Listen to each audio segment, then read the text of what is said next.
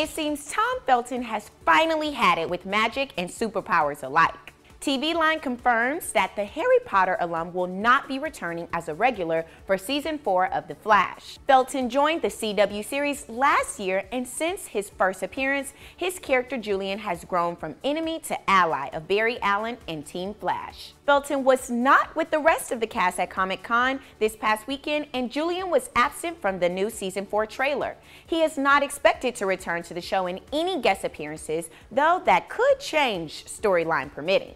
Are you sad to see Felton and all his British angst go? Sound off in the comments, and as always, stick with us at Celebified for the latest TV scoop. I'm Falyn. See you next time.